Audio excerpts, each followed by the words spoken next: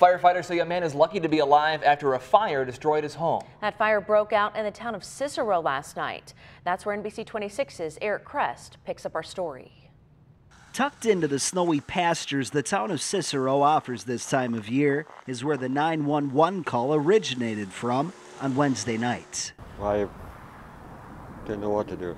James Areta saw the flames and smoke. Just scared, I guess. They were coming from his tenant's trailer, just behind James's auto repair shop. Between 9 and 9.30, the trailer caught fire. I got, I was in bed sleeping.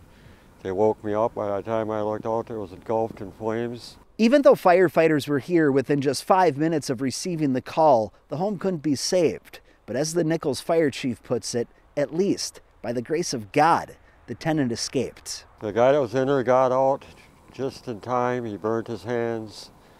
And that's about all I know. We're trying to get a hold of find out even which hospital he went to. We don't know. He's homeless. He lost everything.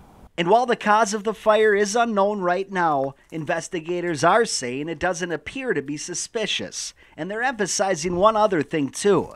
The tenant woke up at the right time, especially considering not a single smoke detector in his home was working.